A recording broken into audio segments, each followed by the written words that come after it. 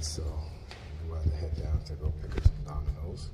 Of course, um, you the police and the sirens, right? Making, uh, using the sirens again as a form of intimidation. so I'm going to continue to do my recording because again, they want to engage in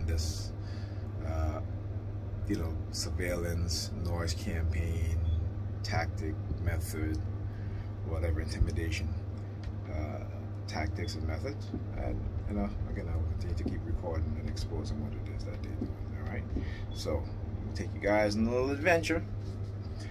All right. So, we're going to go meet the Domino's driver. I guess they recruited him because, again, living in Pizza Like I said, I have no problem. I'm going to I'll try to make them, uh, uh, them try to try to create some form of, uh, you know, psychological type tactic. Let's go. Uh, how you doing? Yes, welcome, welcome. All right, yes, the, there you go. Thank you very much. Appreciate it, sir. All right, just give me a sec.